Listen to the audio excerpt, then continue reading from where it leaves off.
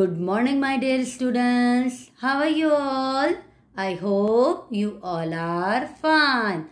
Now, students, take out your mathematics workbook. Mathematics workbook. Now, open this page. Which number is this? Do you remember?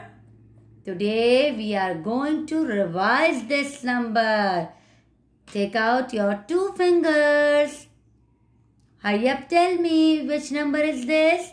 Number 5. Yes, start from here.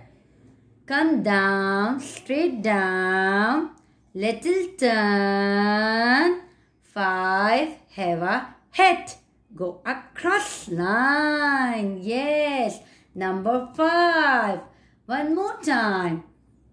Start from here. Come down. Little turn. Then again put pencil here and make a straight line with a cross line. Five have a hit. Which number is this? Number 5. Which number is this? Number 5.